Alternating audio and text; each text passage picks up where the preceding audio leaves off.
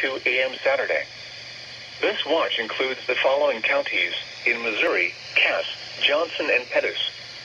Remember, a severe thunderstorm watch means the conditions are favorable for the development of severe weather, including large hail and damaging winds in and close to the watch area.